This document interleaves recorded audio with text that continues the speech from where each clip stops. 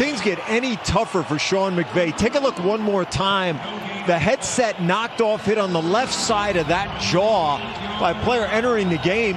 We talked to him before this week. You can see he continues to touch that jaw. Athletic trainer checked in on him. He hasn't made any moves as if he's going to leave this game, of course. He talked to us about what a